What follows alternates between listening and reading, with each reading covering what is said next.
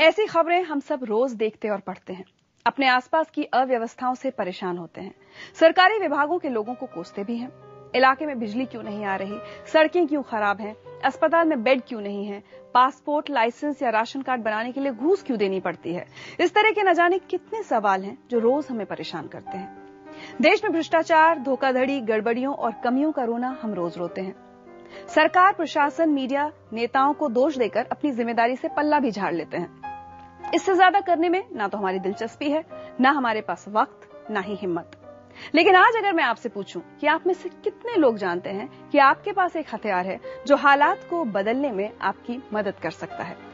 उस हथियार का नाम है आरटीआई आप बता सकते हैं कि आरटीआई क्या होता है? नहीं नहीं ये इंजीनियर कोर्स होता है ये सभी के बारे में नहीं बता पाएँगे आपको। I think it's some department of CBI, right to investigation वो हड़ताल करते थे वो करते थे सुना हूँ लेकिन वो इसके बारे में काम ही नहीं टाइम ही नहीं मिलता इतने सोचने के लिए। शायद कोई इंजीनियरिंग कोर्स होगा। नहीं नहीं। यानी कि राइट सही इन्फॉर्मेशन पहुँचाना किसी तक। यही खबर पहुँचाना।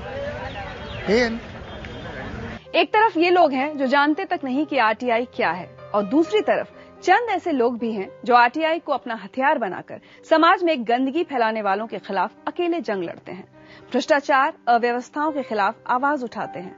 अपने आसपास बदलाव की लहर चलाते हैं। कभी उन्हें जीत मिलती है, कभी हार तो कभी मौत।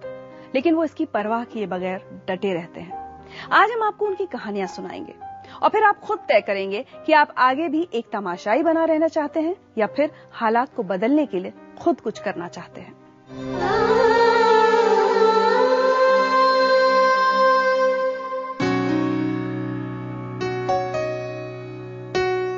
गरीबों के हक की लड़ाई में इतना खतरा उठाना होगा, संतोष को इस बात का एहसास था।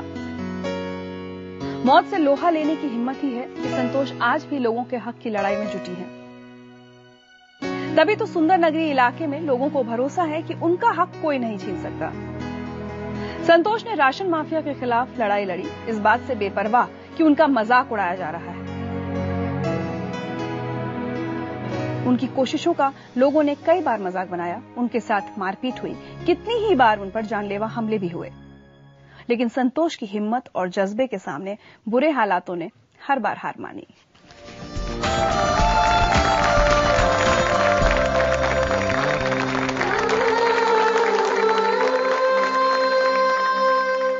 संतोष, कितनी आरटीआई आप डाल चुकी हैं अभी तक? मैंने ऐसा कोई काउंटिंग तो किया नहीं है बट बहुत आरटीआई डाली है। जैसे कि बेसिल में बता दूँ थोड़ा सा आपको। सुंदर नगरी में हम लोग एक इन्फॉर्मेशन सेंटर परिवर्तन के जो शुरुआत हुई थी वो अरविंद ने किया था। अरविंद केजरीवाल ने। उनके साथ शायद मैं पहली किस्मत वाली लड़की हूँ जो शुरुआत में उनके साथ जुड़ी।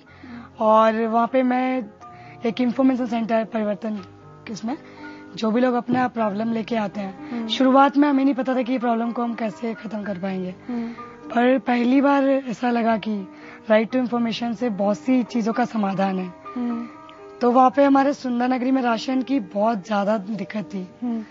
सरकार ने राशन कार्ड तो बना दिया। चार लाख बीपीएल कार्ड बनाए थे 2002 में। और उनको राशन मिल रहा है या नहीं मिल रहा है ये किसी से नहीं पूछा। 95 परसेंट लोगों को राशन नहीं मिला था। जो 5 परसेंट लोगों को मिला था वो ऐसे लोगों को मिला था जो जानवर भी ना खा पाए ऐसा राशन लोगों को बट रहा था। तो ये पीडीएफ तो तब हम लोगों ने ये सब किया।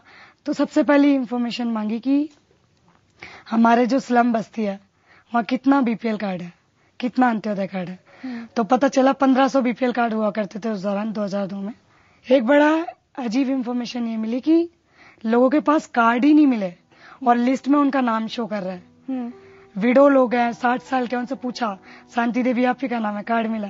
बोले कार्ड तो नहीं मिला लिस्ट में है। तो ये लोग ऐसे लोगों का भी राशन नहीं और इनके हिस्से का राशन कहीं और चला कहीं और जा रहे हैं। तो किसकी मिली भगत से जा रहे हैं? कहीं ना कहीं बाबू भी इन्वॉल्व है। डीलर भी इन्वॉल्व है। तब एक आरटीआई फ़ाइल हुआ था हमारे यहाँ त्रिवेणी नाम की महिला का कि तुम तो बोल रहे दो रुपए किलो राशन मिलेगा। वो महिला अनपढ़ औरतों को पढ़ा के आठ सौ रुपये कमाती थी। तब उसका घर का खर्चा चलता था। तो पहली जब आरटीआई फ़ाइल किया कि मुझको जनवरी से जुलाई तक का रिकॉर्ड दिया जाए। उसमें पता जैसी आरटीआई फ़ाइल किया त्रिवेणी ने। आठ दिन के अंदर उसको इतना शोषण किया उसका परेशान किया। और बोला आरटीआई विड्रॉल कर लो वरना तुम्हारे ऊपर केस चल जाएगा। फिर दुकान दुकानदारों ने धमकी दी तुम्हारा बेटा है कुछ भी हो सकता है। नहीं तो बीस हज़ार रुपये ले लो। तो वो एक चर्चा का विषय बनता है कि कोई ऑफिसर झुग्गी बस्ती में आके और ऐसे डरा रहा तो है। प्रेशर आता है। प्रेशर आता है। पर दबाव बनता है अगर आप आरटीआई डालते हैं। बिल्कुल। तो वहाँ की जनता बहुत इन्वॉल्व हुई। कैसा क्या हो गया? राशन ही तो मांग रहे हैं। हम्म, कुछ कर तो त्रिवेणी को फिर भी दोषी तो ठहराया गया उसका रिकॉर्ड में पता है क्या निकला? कि त्रिवेणी थम इम्प्रेशन अंगूठे का निशान लगा के राशन बराबर लिया है। कागजों में उसका राशन बराबर मिल रहा है और एक्चुअल में उसको एक दाना राशन नहीं मिला। जो महिला अनपढ़ औरतों को साइन करना सिखाती है और वो अंगूठा लगा के राशन लेगी कितना शर्मनाक बात है। तब पहले ये आरटीआई पहला था जो रिकॉर्ड निकला। उसके बाद हमने खूब आरटीआई फ़ाइल किया कि सारे लोग रिकॉर्ड मांगे। फिर हम एक कंप्लेंट क्या करते थे कि मेरे किसी को राशन नहीं मिला तो वो हमारे कभी घर पहुँच जाते थे। मैं सुंदर नगरी में ही रहती हूँ। हम्म, घर आते थे। तो उनकी कंप्लेंट बनाते थे हम लोग। मैंने ज़्यादा पढ़ाई नहीं किया। दसवीं के बाद छोड़ दिया। क्योंकि समझ में आया कि ज़्यादा इस देश को सुधारने के लिए बहुत पढ़ने की ज़रूरत नहीं है। दिल में जज्बा होना चाहिए ईमानदारी होनी चाहिए। फिर कंपूस पे आरटीआई फ़ाइल करते थे कि आपने इसके जो कंप्लेंट दिया आठ दिन बाद इसके ऊपर क्या काम किया। उसके बाद फिर जो हमले आप लोगों ने को पता ही है हम्म। नौ बार अटैक हुए। आपके ऊपर हुआ अलग से? मेरा गला काट दिया था। वहाँ अस्पताल मुझे ले जाया गया। डॉग इतना प्री प्लान करते हैं ये भ्रष्टाचारी लोग माफिया लोग। डॉक्टरों ने मारपीट किया हुआ। आपके साथ? यस और फिर हमारे खिलाफ ही मुकदमा दर्ज कराते हो कि हम गले लूट रहे थे दुकान वालों के। लेकिन ये समझ में नहीं आया। एक बार मुँह पे बुलेट मारा। कल्याणपुरी में मैं आया और मेरी एक दोस्त ने देखा। गर्दन पर चाकू रख दिया। तब लगा कि कुछ नहीं इसी का नाम ज़िंदगी है। जियो और काम करो पर पीछे मत हटो। एक चीज़ है अगर आप कुछ ठानते हैं ना अच्छे काम के लिए तो मार ये मारने वाले ज़्यादा टिकाऊ नहीं होते। मतलब समझ में आया कि ये लोग कितने कमज़ोर हैं। कोई और चारा नहीं है व्यवस्था नहीं सुधारेंगे और करप्शन से लड़ने वालों को मारेंगे.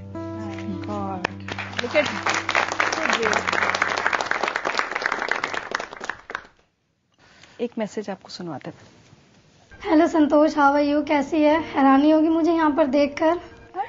जब हम एग्ज़ाम देने जाते थे तो हम साथ जाया करते थे। ये होता था कि चलो संतोष साथ में रहेगी तो कुछ होगा नहीं कोई कुछ कहेगा नहीं। अगर होता भी था तो तुम थी साथ में सपोर्ट रहता था। शुरू से ही तुम ब्रेव तो रही हो। जैसे पहले तुम दूसरों के लिए हेल्प करती थी ऐसे अभी भी करती हो। जैसे तुम हो वैसे ही रहना। हमारी विशेष तुम्हारे साथ है। ऑल द बेस्ट क्या बात है ये मेरी बहुत अच्छी दोस्त है। हम्म तो ये बताइए आपने कहा आप ज़्यादा पढ़ी लिखी नहीं है।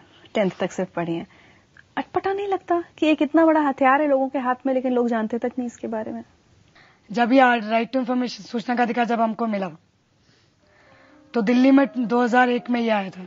हम्म, 2004 में एक एक ऑर्डर आया था जो अशोक अग्रवाल जी ने लड़ा था केस प्राइवेट स्कूल में 25 परसेंट गरीब बच्चों के लिए सीट मुफ़्त उसकी पहली लड़ाई सुंदर नगरी से लड़ी थी जिसकी वजह से साढ़े चार सौ बच्चे पहली बार एडमिशन हुए थे। झुग्गी बस्ती के बच्चे। तो ये बहुत आरटीआई से तो बहुत सी चीज़ें ऐसी आप कर रहे हो। तो आगे ऐसे ही लड़ते रहना है। तो अभी भी लड़ रहे हैं और लड़ेंगे भी। और दूसरा मैं सबको ये कहना चाहती हूँ डरना नहीं चाहिए।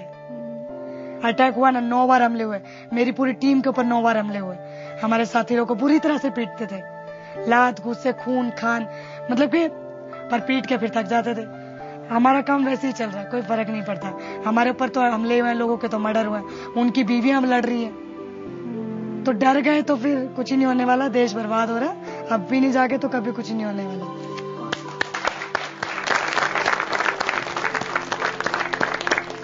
संतोष बहुत मज़ा आ रहा है आपसे बात करने में। ईश्वर ने चाहा तो फिर मुलाकात होगी।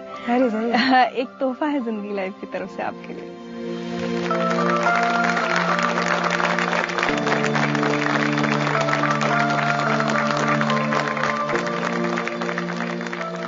एक छोटी सी घटना से संतोष को एहसास हुआ कि आरटीआई कितना सशक्त हथियार है। सुंदर नगरी इलाके में हर कोई आज आरटीआई का इस्तेमाल कर रहा है।